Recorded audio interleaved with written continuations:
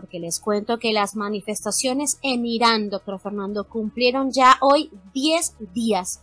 Miles de jóvenes han salido a protestar por las calles de Teherán y otras 50 ciudades iraníes después de la muerte de Masha Amini, una joven de tan solo 22 años, cuando estaba bajo custodia de la llamada Policía de la Moral. Masha, doctor Fernando, fue detenida el 13 de septiembre por llevar mal puesto el hijab, que es ese velo que deben llevar las mujeres musulmanas para cubrir su cabello. Las autoridades iraníes informaron en ese momento que Masha Amini, doctor Fernando, tenía problemas cardíacos y que había sufrido un infarto cuando estaba detenida en una comisaría de Teherán, calificando lo ocurrido como un hecho desafortunado. Sin embargo, la familia ha dicho que la joven no sufría de ninguna afección cardíaca y su padre ha denunciado que fue golpeada cuando estuvo detenida. Durante este fin de semana hubo enfrentamientos contra la fuerza pública. Los manifestantes, doctor Fernando, quemaron motos y carros de la policía, también símbolos del gobierno e incluso un mural del general Qasem Soleimani, recuerde el general de la Quds o de esa guardia revolucionaria iraní. También dos comisarías fueron incendiadas mientras se cantaban consignas en contra del régimen iraní. Según informó la ONG Derechos Humanos en Irán, con corte al viernes de, el viernes 23 de septiembre, perdón, al menos 35 personas habían muerto en medio de las protestas. Sin embargo, los medios internacionales reportaban ayer por la noche que al menos 41 muertos y 1.186 detenidos han quedado en medio de estos 10 días de protestas. Entre los detenidos, doctor Fernando, también hay 17 periodistas.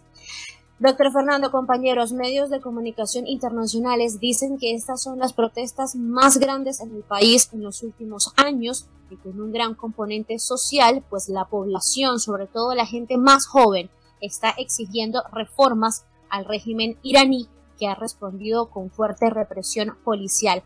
Por estos días también ha restringido el funcionamiento de redes sociales como WhatsApp y la conexión a Internet en todo el país.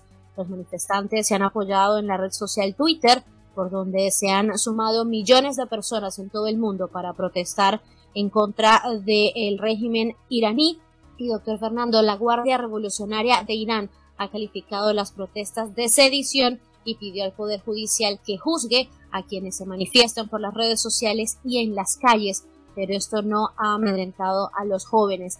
Les cuento que el hijab es obligatorio en Irán desde el triunfo de la República Islámica en 1979 y durante este último mes el presidente Ibrahim Raisi ha endurecido ese control del velo para garantizar que las mujeres pues respeten ese código de vestimenta que, eh, que, tienen allá. Incluso la semana pasada, en el marco de la Asamblea General de la ONU en Nueva York, le canceló una entrevista a Cristiana Mampur, Recuerden esa periodista muy famosa de CNN porque ésta se negó a usar velo para entrevistar, para entrevistarlo tal y como él se lo exigió. Es tan estricta esta ley que los miembros de la policía de la moral en Irán se encargan de vigilar a las mujeres, van como agentes encubiertos y tienen autoridad para detener en la calle a cualquier mujer e imponer castigos. Castigos, doctor Fernando, que van desde multas, detenciones, penas de prisión e incluso latigazos por llevar eh, mechones de cabello a la vista,